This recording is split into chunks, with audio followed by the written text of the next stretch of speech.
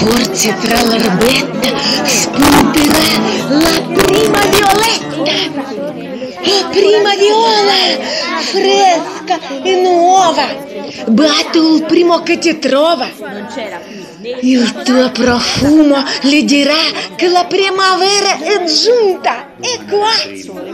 Le signore non lo sanno.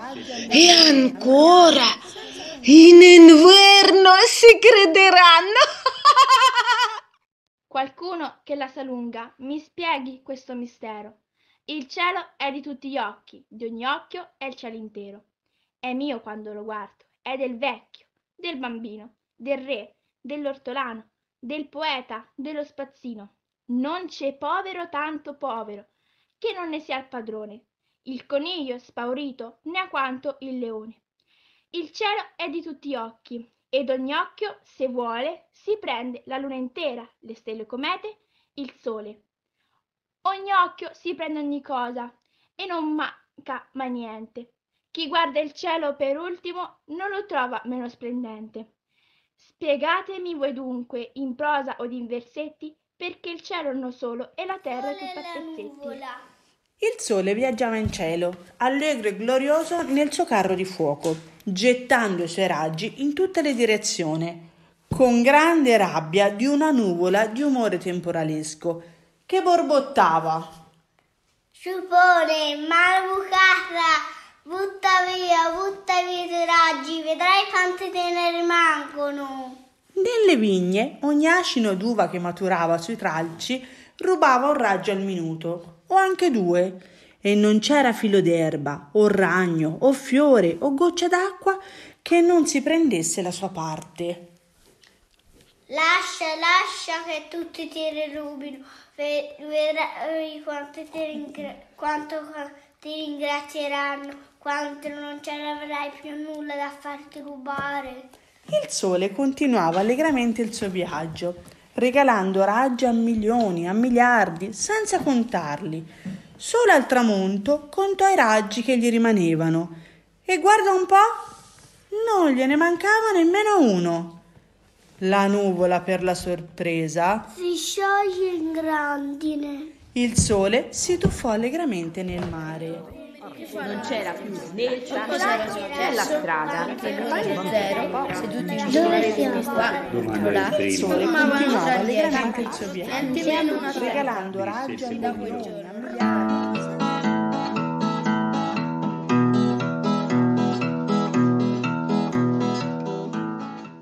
Se comandasse Arlecchino, il cielo, sai come lo vuole, a toppe di cento colori, cucite con un raggio di sole.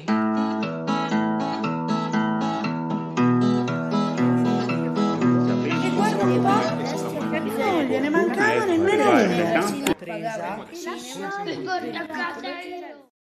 Carnevale, ogni scherzo vale. Mi metterò una maschera da pulcinella e dirò che ho inventato la mozzarella. Mi metterò una maschera da pantalone e dirò che ogni mio starnuto vale un milione. Mi metterò una maschera da pagliaccio per far credere a tutti che il sole è di ghiaccio. Mi metterò una maschera da imperatore. Avrò un impero per un paio d'ore. Per voler mio dovranno levarsi la maschera tutti quelli che la portano ogni giorno dell'anno. E sarà il carnevale più divertente vedere la faccia vera di tanta gente. È del vecchio del bambino, del re, dell'ortolano, del poeta, dello spazzino. Non c'è povero tanto povero che non ne sia il padrone, il coniglio spaurito ne ha quanto il leone. Il cielo è di tutti gli occhi, ed ogni occhio se vuole si prende la luna intera, le stelle comete, il sole. Ogni occhio si prende ogni cosa e non manca mai niente. Chi guarda il cielo per ultimo non lo trova meno splendente. Spiegatemi voi dunque in prosa o in versetti, perché il cielo è uno solo e la terra è tutta pezzetti.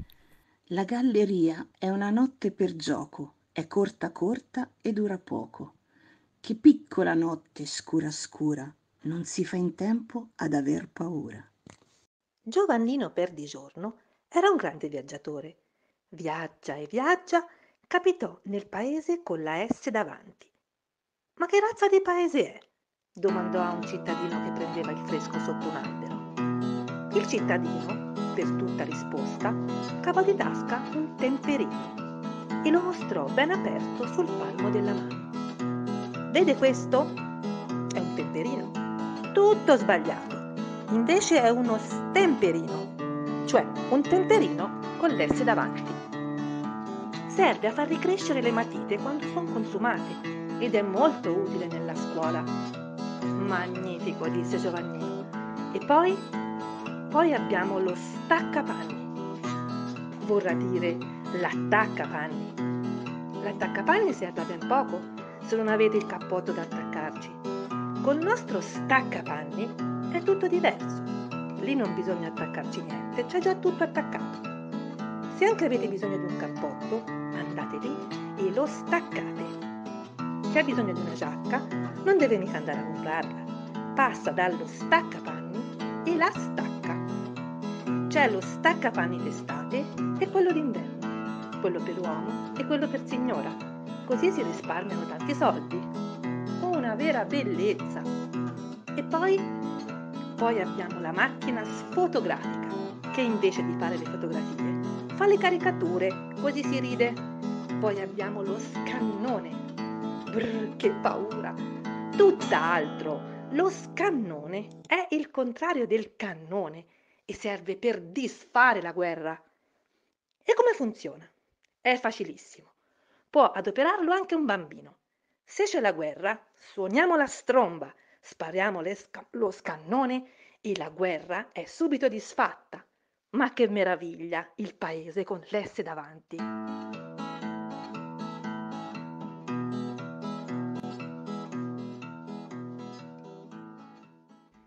Gli ultimi versi tratti dalla poesia Il giorno più bello della storia.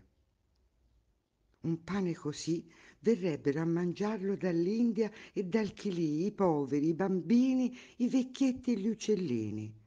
Sarà una data da studiare a memoria, un giorno senza fame, il più bel giorno di tutta la storia. Ancora adesso, quando i bambini chiedono un altro gelato, i genitori sospirano. Eh già, per te ce ne vorrebbe un palazzo intero, come quello di Bologna.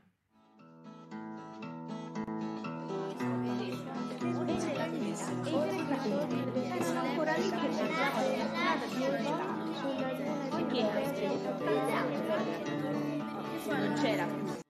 Due bambini, nella pace del cortile, giocavano a inventare una lingua speciale per poter parlare tra loro, senza far capire nulla agli altri. Brief braf, disse il primo. Braf braf, rispose il secondo, e scoppiarono a ridere. Su un balcone del primo piano c'era un vecchio buon signore.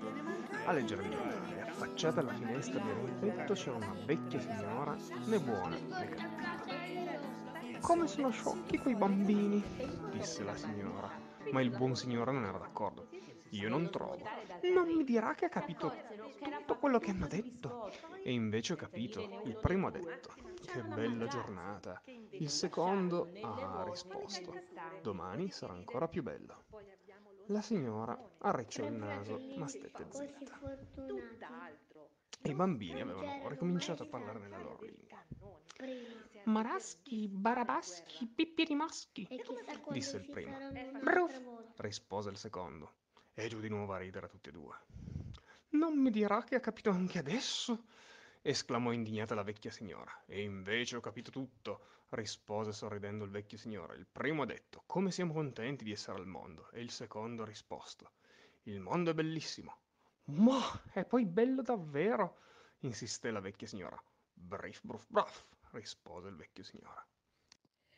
C'era una volta un povero lupacchiotto che portava alla nonna la cena in un fagotto in mezzo al bosco dove più fosco incappò nel terribile cappuccetto rosso armato di trombone come il brigante Gasparone.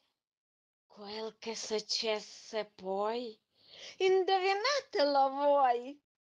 C'è una scuola grande come il mondo. Ci insegnano maestri e professori, avvocati, muratori, televisori, giornali, cartelli stradali, il sole, i temporali, le stelle. Ci sono lezioni facili e lezioni difficili, brutte, belle, così così. Si impara a parlare, a giocare, a dormire, a svegliarsi, a voler bene e perfino ad arrabbiarsi. Ce ne salvi tutti i momenti, ma non ci sono ripetenti. Nessuno può fermarsi a 10 anni, a 15, a 20, riposare un pochino. Di imparare non si finisce mai e quel che non si sa è sempre più importante di quel che si sa già. Questa scuola è il mondo intero, quanto è grosso. Apri gli occhi, anche tu sarai promosso.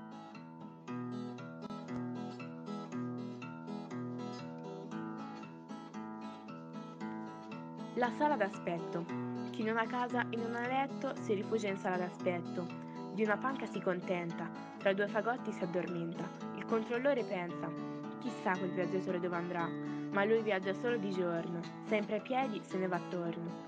Cammina, cammina e sono guai, la sua stazione non la trova mai, non trova lavoro, non ha tetto, di sera torna in sala d'aspetto e aspetta, aspetta, ma sono guai il suo treno non parte mai. Se un fischio echeggia di prima mattina, lui sogna di essere all'officina. Controllore, non lo svegliare, un poco ancora, lascialo sognare. Che belle parole se si potesse scrivere con un raggio di sole, che parole d'argento se si potesse scrivere con un filo di vento. Ma in fondo al calamaio c'è un tesoro nascosto e chi lo pesca scriverà parole d'oro col più nero inchiostro io fossi un fornaio vorrei cuocere un pane così grande da sfamare tutta, tutta la gente che non ha da mangiare. Un pane più grande del sole, dorato, profumato, come le viole. Un pane così verrebbero a mangiarlo dall'India e dal Chili. I poveri, i bambini, i vecchietti e gli uccellini. Sarà una data da studiare a memoria, un giorno senza fame, il più bel giorno di tutta la storia. Il trionfo dello zero. C'era una volta un povero zero, tondo come uno zero, tanto buono ma però contava proprio zero e nessuno lo voleva in compagnia. Una volta per caso trovò il numero uno di cattivo umore perché non riusciva a contare fino a tre. Vedendolo così nero, il piccolo zero si fece coraggio sulla sua macchina, gli offerse pa- un passaggio, schiacciò l'acceleratore e fece assai dell'onore di avere a bordo un simile personaggio. D'un tratto chi si vede fermo sul marciapiede? Il signor Tre, che si leva il cappello e fa un inchino fino al tombino. E poi per Giove, il 7, l'8 e il 9, che fanno lo stesso. Ma cosa era successo? Che l'uno e lo zero, seduti vicini, uno qua, l'altro là, formavano un gran dieci. Niente meno un'autorità. Da quel giorno lo zero fu molto rispettato, anzi da tutti i numeri ricercato e corteggiato. Gli cedevano la destra con zero premura, di tenere la sinistra avevano paura. Gli pagavano il cinema, per il piccolo zero fu la felicità. Per il piccolo zero fu la felicità.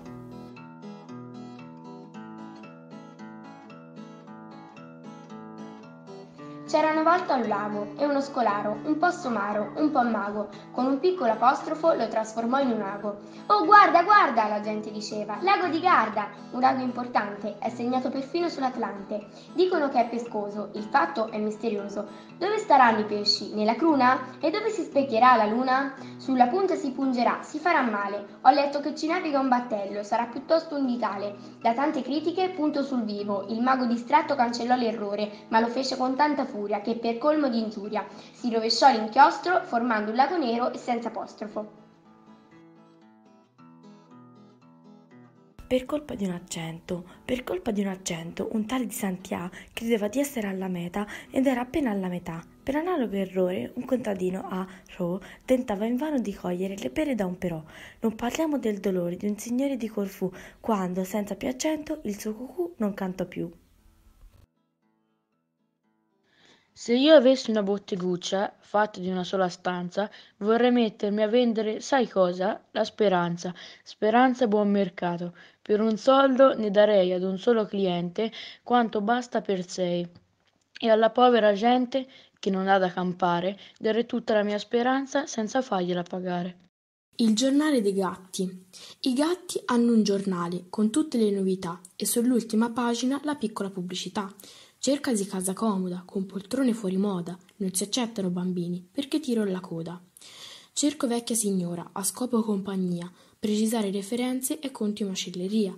Premiato cacciatore, cerca impiego in granaio, Vegetariano Scapolo cerca ricco lattaio. I gatti senza casa, la domenica dopo pranzo, leggono questi avvisi più belli di un romanzo. Per un'oretta o due sognano ad occhi aperti, poi vanno a prepararsi per i loro concerti. Che sogni e le speranze si fan vivi come fiori, sulla luna e sulla terra fate largo ai sognatori. Tragedia di una virgola. C'era una volta una povera virgola che per colpa di uno scolaro disattento capitò al posto di un punto dopo l'ultima parola del componimento. La poverina da sola doveva reggere il peso di cento paroloni, alcuni perfino con l'accento, per la fatica atroce morì. Fu seppellita sotto una croce dalla matita blu del maestro e al posto di crisantemi sempre verdi sebbe un mazzetto di punti esclamativi. Se andrete a Firenze, vedrete certamente quei poveri ane di cui parla la gente. È un cane senza testa, povera bestia, davvero non si sa da abbaiare come fa. La testa si dice gliel'hanno mangiata, ma lui non si lamenta, è un caro cucciolone, scodinzola e fa festa a tutte le persone. Come mangia? Signori, non stiamo ad indagare. Ci sono tante maniere di tirare a campare.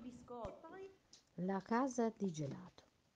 Stamattina ho inventato una casa di gelato con il tetto di fragola, le finestre di lampone e le porte di cioccolato. Una nuvola di panna e di limone usciva dal camino e se l'è beccata tutta un uccellino. La strada di cioccolato. Tre fratellini di Barletta una volta, camminando per la campagna, trovarono una strada liscia liscia e tutta marrone. Che sarà? disse il primo. Legno non è. disse il secondo. Non è carbone. disse il terzo. Per saperne di più si inginocchiarono tutti e tre e diedero una leccatina. Era cioccolato. Era una strada di cioccolato.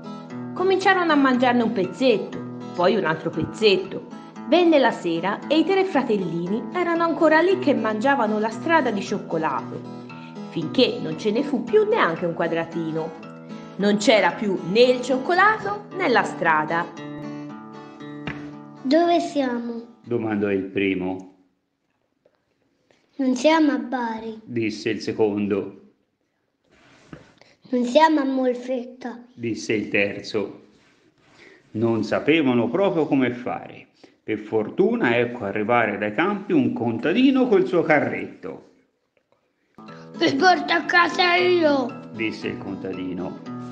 E li portò fino a Barletta, fin sulla porta di casa. Nello smontare dal carretto si accorsero che era fatto tutto di biscotto. Senza dire né uno né due, cominciarono a mangiarselo e non lasciarono né le ruote né le stanghe tre fratellini così fortunati non c'erano mai stati prima. E chissà quando ci saranno un'altra volta.